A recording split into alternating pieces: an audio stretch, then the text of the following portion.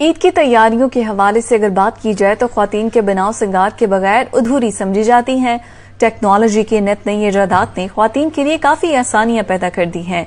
दुनिया न्यूज़ की नुमाइंदा साहिरा खान ने skin and hair specialist Shumaila से गुफ्तगू की है। आइए आपको वो दिखाते हैं। ईद की तैयारियाँ खातन के बनाव सिंगार के बगैर अधूरी समझी जाती हैं। टेक्नोलॉजी के नए ईजादात ने खातन के लिए काफ़ी आसानियाँ पैदा कर दी हैं। हम इस वक्त एक ब्यूटी पार्लर में मौजूद हैं।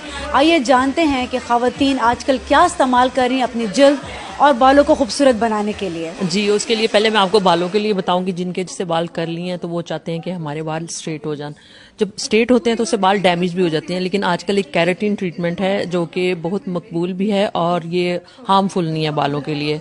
तो उससे बाल स्ट्रेट भी हो जाते हैं, सिक्स मंथ्स के लिए रह जाते हैं स्ट्रेट। उसके बाद फिर अगेन आपको दोबारा करवाना पड़ता है। वो बड़ा अच्छा जा रहा है हमारा। और स्किन के लिए भी हमारे लिए हाइड्रा फेशियल जो कि एक ही फेशियल में आप 20 फेशियल का रिज़ल्ट देख सकते हैं उसके अंदर। और बहुत सारी ट्रीटमेंट है, जिसके बाल छोटे हैं, वो एक्सटेंशन लगवाते हैं, जिनके बाल झड़ जाते हैं, उनके लिए हमारे पास बहुत अच्छी एक्सटेंशन है जो हम लगाते हैं, जो कि आपके रियल बालों की तरह ही आपको फील होती है। और फेशियल के लिए हमारे पास बहुत सारी ट्रीटमेंट है, वो हम अकॉर्डिंग स्किन दे के फिर रिकमेंड करते हैं। हम ये नहीं कहते, हर एक को एक ही चीज़ दे दे। जब लोग आते हैं कंसल्टेशन करते हैं एनालाइज करते हैं हम स्किन को, फिर हम रिकमेंड करते हैं कि आपकी स्किन के लिए कौन सा फेशियल सूटेबल है। ईद आने वाली है तो आपको क्या लगता है कि आजकल क्या मकबूल, कौन सी ट्रीटमेंट बहुत ज़्यादा मकबूल है स्पेशली यंगस्टर्स में? जी, आपको पता है, रमज़ान में रोज़े रखने की वजह से हम डिहाइड्रेट हो जाते हैं। उसके लिए मैं तो लोगों को रिकमेंड करूँगी कि हाइड्रा फेशियल उससे स्किन आपकी बहुत ग्लो भी करेगी और हाइड्रेट हो जाएगी। खातन की जो है बालों वैक्सिंग बहुत ज़्यादा होती है और कुछ लोग दर्द नहीं बर्दाश्त कर सकते। तो उसके लिए आई थिंक लेजर टेक्नोलॉजी आई है। तो उसके बारे में आप क्या कहेंगे? क्या साइड इफ़ेक्ट है इसका कोई? जी लेजर का बिल्कुल साइड इफ़ेक्ट नहीं है। और मैंने मेरे में हज़ारों नहीं लाखों लोगों पे किया होगा और बहुत अच्छे उनको रिज़ल्ट दिए हैं। जो लोग परेशान रहते थे स्पेशली आपका फेस होता है उस पर बाल आते हैं और वैक्स आप थ्रेडिंग कराते हैं या वैक्स कराते हैं। तो आपको एवरी वीक या टू वीक्स में जाना पड़ता है।